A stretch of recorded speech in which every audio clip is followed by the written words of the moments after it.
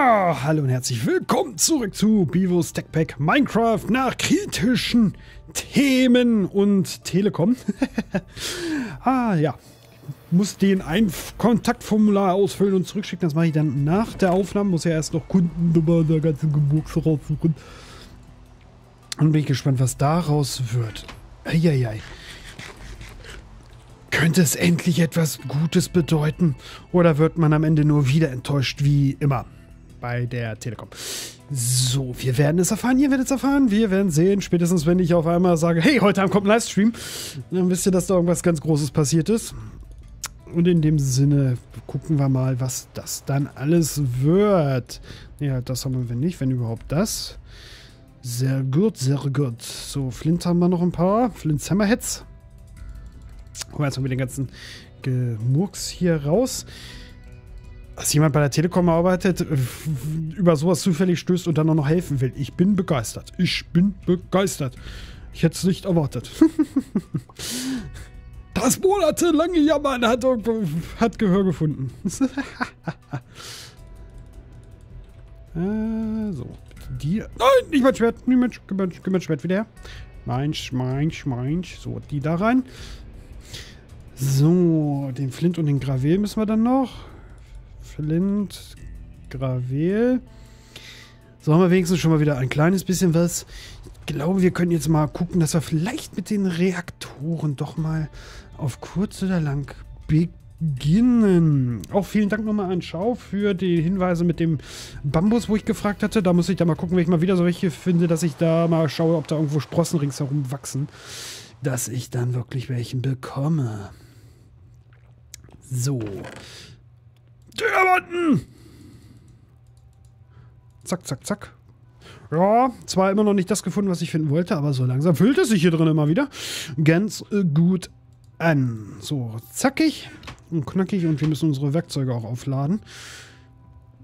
Huiuiuiui. Also ich bin gerade irgendwie echt, äh, der heutige Tag ist wirklich überraschend auf mancherlei Hinsicht. Ich bin gespannt, was da, wie gesagt, noch raus wird. Ihr werdet wie gesagt, alle, alle, alle, alle erfahren. Ach, verdammt, das Ding hat ja noch gar keinen Flux drauf. Das muss ja erst geupgradet werden, wofür wir Gold für brauchen.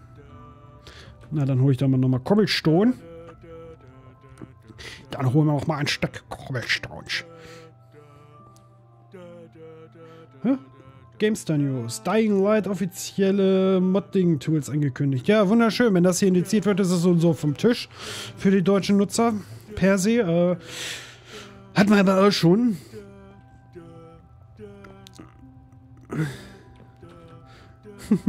ja, TweetDeck ist immer noch ganz lustig. Und ja, zu meiner Frage in puncto, hä, da, da, da, ob sowas auch für Google Plus gibt, gab es eine Antwort. Andreas hatte geschrieben, Hootsuite wäre da eins. Ich habe mir das angeguckt, ich glaube, das ist, wiefern das wirklich äh, dem spreche, was ich da suche. Aber es ist auf jeden Fall mal ein Hinweis. Das gucke ich mir auf jeden Fall nochmal genauer an. Ich weiß gar nicht, ob das auch wirklich als brauchbare Free-Version da ist oder ob das wirklich so eine reine Bezahlversion ist, weil irgendwas stand da mit Bezahlen und das wäre dann damit schon mal raus.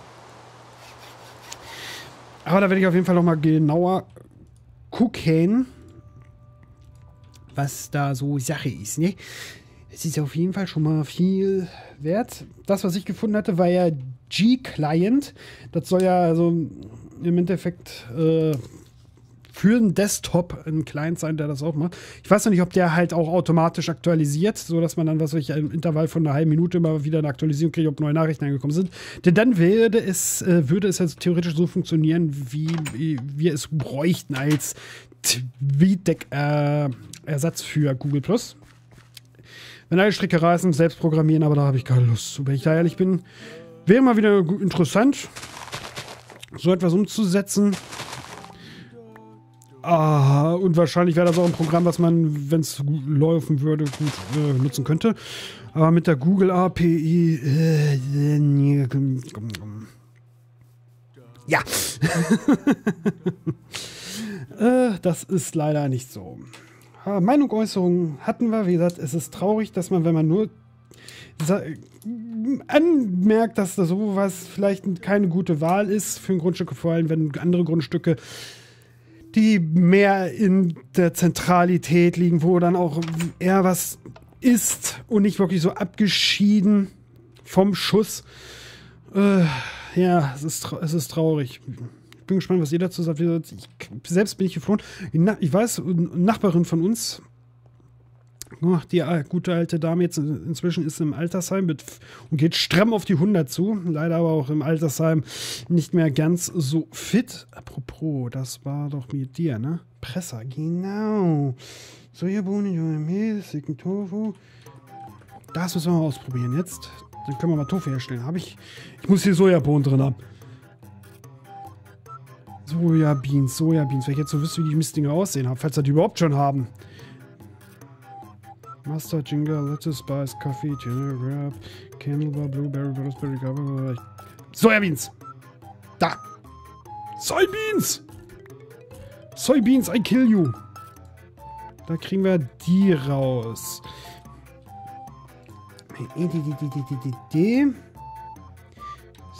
Soy. Soy Milk. Kriegen wir so kein Rezept? Ich schätze mal, dafür müssen wir jetzt an den Presser dran gehen. Ich probiere es jetzt einfach mal aus. Machen wir mal acht Stück rein. Scheint zu funktionieren. Dann erklärt es das und dann kriegen wir Tofu bald. Jawohl, so funktioniert's. Äh, da, da, da. Das sollte erstmal reichen. Hallo, hallo, hallo, hallo, hallo. Soybeans. Ich, ich gucke immer nach was Weißem, wenn ich die suche. Dann kriegen wir nämlich auch den Tofu hin und können den auch für Ernährung und zukünftige Kochsendungen einsetzen, weil aus der Soymilk können wir dann Silken Tofu machen.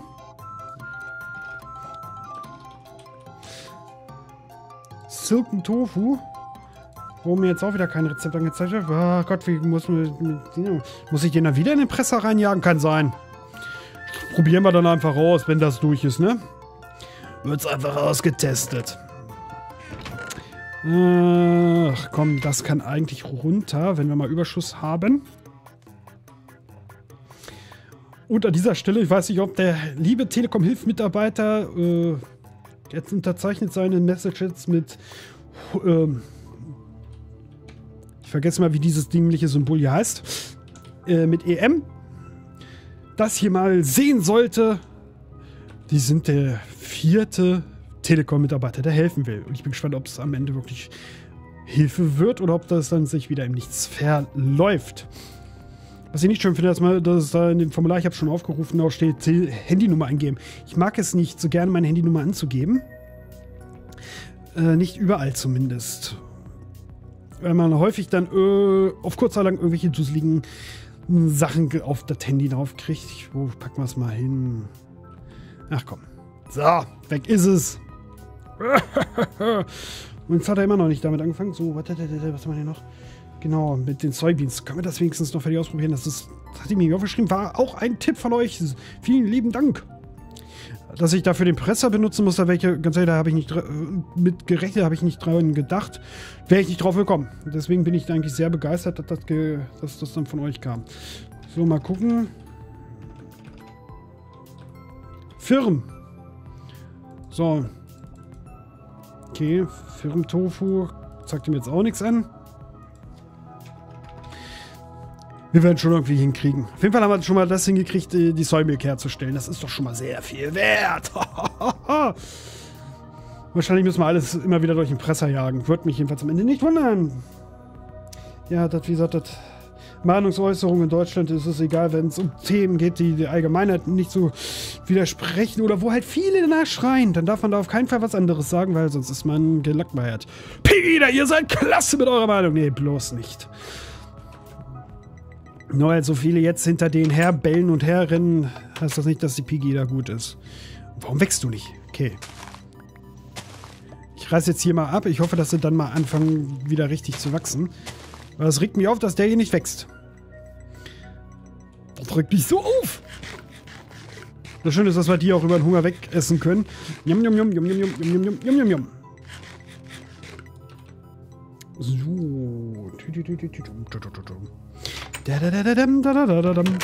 Und wenn am Ende dann von der Telekom kommt, wir können bei Ihnen keinen Fehler feststellen. Dann hier, ne? Ja, dann. ah, was hat die denn noch? Ah ja, Umfrage. Ich habe inzwischen ja das Formular auf Google erstellt mit der Umfrage hier, was für Projekte euch interessieren würden. Ich habe das auch in den Channel News angesprochen, da werde ich es dann auch unten schon mit reinpacken. Ich werde es dann vorher gleich vielleicht nochmal den Lück und den Reggie zuschicken, dass sie nochmal gucken, ob da alles äh, mit rechten Dingen zugeht. Sollte es aber. Und dann können wir das äh, auch machen und dann ist eure Meinung gefragt. Ja, ich werde da auch nochmal ein extra Video machen zur Umfrage. Äh, das wird es, wie gesagt, nochmal ganz extra eins geben, damit das ja viele mitkriegen was für Projekte euch denn interessieren, was ihr gerne hättet. So, jetzt gehen wir erstmal auf Big Reactors. Big, big, big, big, big, big Reactors. Reactor Cousin. Dafür brauchen wir Steel. Ich erinnere mich. Steel, Refined Iron. Da, da, da, da, da, da, da, da. Das heißt, mit Charcoal oder mit Coal Powder können wir es machen. Ich erinnere mich, wir brauchen also erstmal ein Stack Coal Powder. Wie viel haben wir denn davon? Das hatte ich hier doch auch irgendwo reingeschmissen. Weil es am Ende ja nicht nutzbar war. Für das, wofür es Wither Dust. Nee, sieht nur so aus. Ich hatte doch schon Charcoal Powder. Wo habe ich denn das hingewuppt? Pulverized, Pulverized Coal. Ich muss mal gucken, ob es auch damit funktioniert. Dann bräuchte man noch einen halben äh, Steck Iron. Dann können wir schon mal davon das erste herstellen und können schon mal langsam in Richtung Big Reaktores anfangen. Ach nee, verdammt, da brauche ich erstmal den... Hahaha! Bevor ich da dran gehe, müssen wir erstmal hier aufrüsten. Ich brauche den Induction. Obwohl, what? Warum mache ich es eigentlich darüber? Lopp. Äh, Applied Logistics ist es nicht. Wie heißt es denn? Ach, Mensch.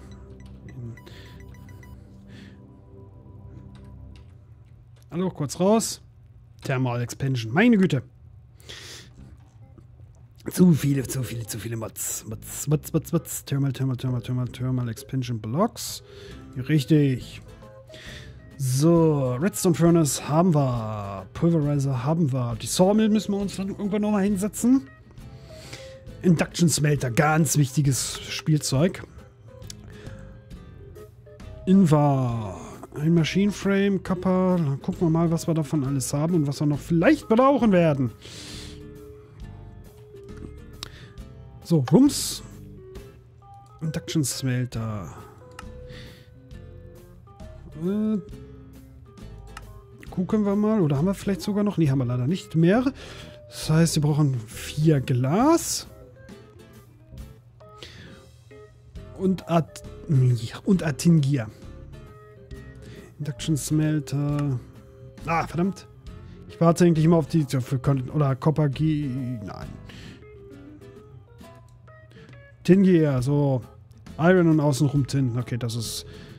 Ach, verdammt, Silver.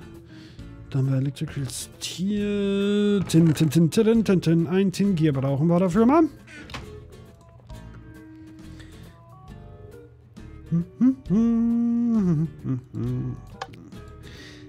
Konzentration am Arbeitsplatz.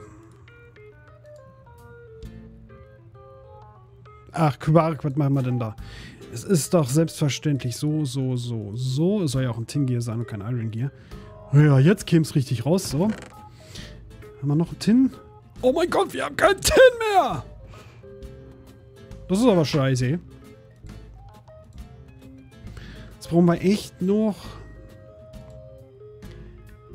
Zack, zack, zack. ja. So, bitte Tin. Ein Tin fehlt uns noch. Ein Rintintin. Machen wir mal kurze Hand ein paar. Heieiei. So, na, wenigstens kommen mal wieder neue Maschinen ins Spiel, ne? Da werden sich jetzt bestimmt wieder einige freuen, dass endlich mal wieder was geht. Geschieht. So, wie gesagt, Umfrage, was für Projekte euch jetzt so im ersten Quartal interessieren würden, wird es auch geben. Ich hoffe auch, dass ich ab nächste Woche, also die Woche, wenn diese Folgen rauskommen, es geschafft habe, endlich mal in mich in den Semesterferien zur Fakultät zu bewegen, um dort hochzuladen, weil sonst wird es auch mit Evil Within ein bisschen böse. Da, die letzten Folgen habe ich einfach nicht hochbekommen. Hat keinen hochbekommen. Ne, das schon. Da habe ich kein Problem mit. äh, was? Äh, nein, 1,8 GB mit meiner Kackleitung, wenn sie so schlecht läuft, ist einfach. Äh, Und so groß ist auch Folge 100, die ich noch hochladen muss. so. Wo ist jetzt? Tin. So. Oh, okay. Unser Notstrom Agi. Es muss noch leiden. so, die reichen, glaube ich, erst einmal.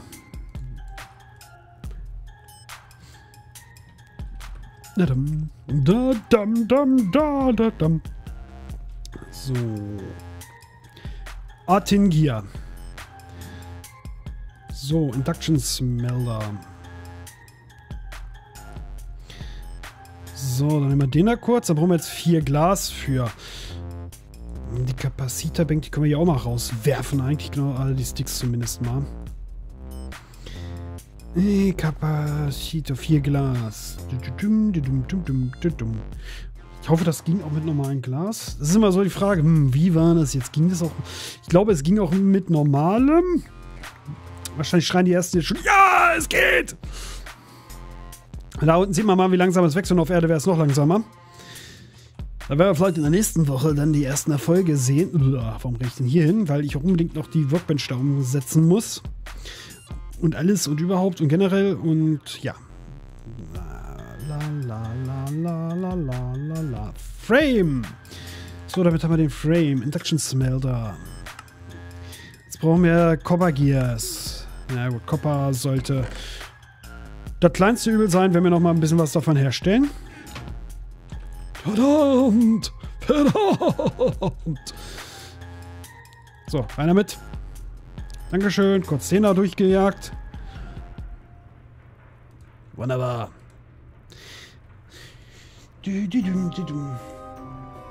Ah, was ich ja zur ersten Folge heute sagen wollte, mit Punkte, dass ich mir jetzt vielleicht äh, auf kurz oder lang auch eh dann doch noch einen, zumindest einen kleinen Gewerbeschein antun darf.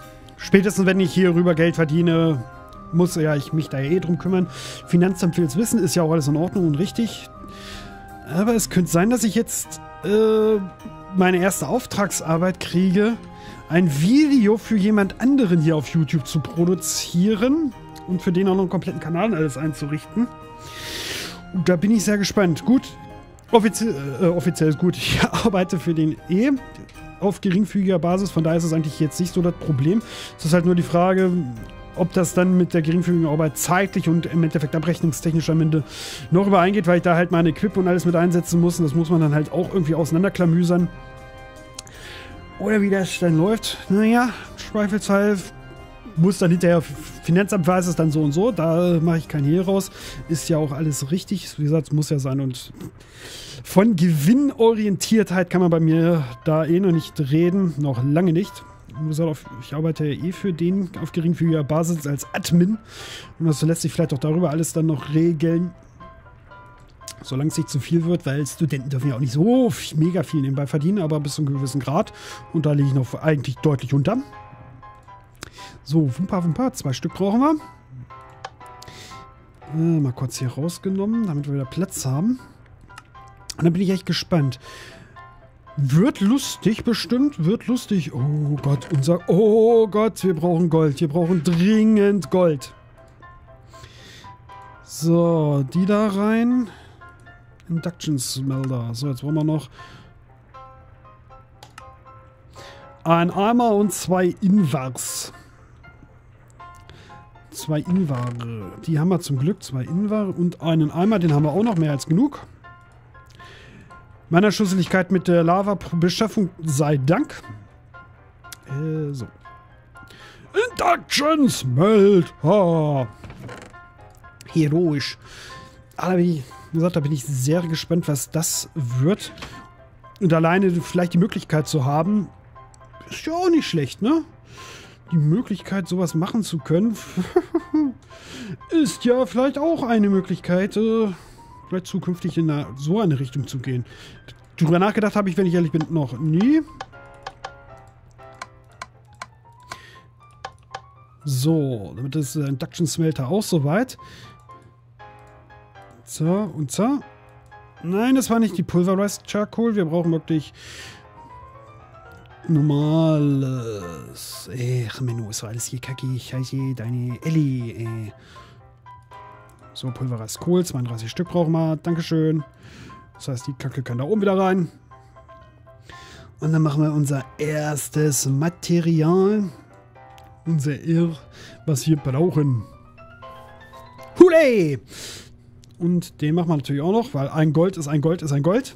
Wir können natürlich noch einen ganzen Rest Kupfer mal durchjagen. Dann kämen wir vielleicht auch noch ein bisschen mehr Gold, so letzten Goldkörnchen rausholen. Und wir haben Refined Iron, was wir dann ganz viel brauchen werden. Oh, das wird teuer. Also diese Anlage wird richtig teuer werden. Wir werden es auch nicht auf einmal umsetzen können. Ah ja. Aus dem Leben eines EDV-Lers. Och, da könnt ihr auch so viel erzählen.